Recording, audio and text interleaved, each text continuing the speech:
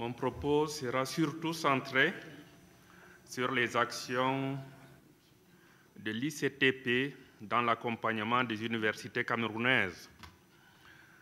Un constat s'est dégagé hier, durant nos échanges, que durant ces 45 années de fonctionnement, l'ICTP a enregistré un grand succès dans l'accompagnement vers l'excellence scientifique des pays en voie de développement, dont le Cameroun. Le cas du Cameroun, pays de la sous-région Afrique centrale, illustre à merveille ses succès. C'est à partir du milieu des années 1990 que les enseignants-chercheurs camerounais découvrent les programmes de l'ICTP et y prennent part activement dans plusieurs de ces volets. Le premier d'entre eux, sur le plan du soutien institutionnel, l'ICTP a accordé des dons de livres, des CD et des revues scientifiques au département de physique des universités de Yaoundé 1, Chang, Ngaoundéré, au début quand Internet était quasiment inexistant dans nos universités. Depuis lors, toutes les conférences et écoles organisées au Cameroun ont reçu un appui financier conséquent de l'ICTP. Mais l'action la plus visible reste sans doute le soutien institutionnel apporté au Centre de physique atomique et optique quantique, en abrégé CEPAMOC, de l'Université de Douala.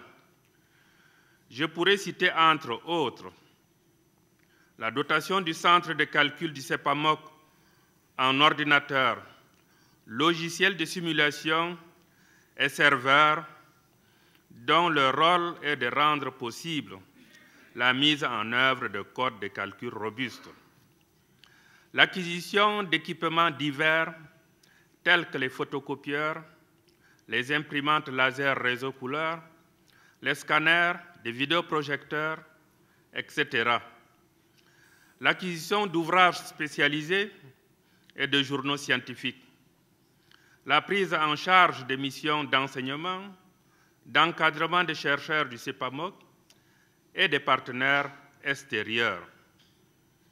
Le paiement de bourses locales à l'ICTP et à l'étranger, le cas relevé par Mme Zora tout à l'heure, fait un bémol au CEPAMOC de l'Université de Douala.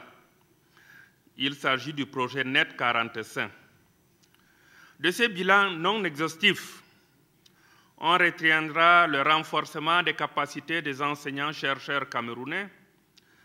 48 enseignants-chercheurs ont été ou sont associés à l'ICTP. Un formidable soutien à l'intégration sous-régionale en Afrique centrale.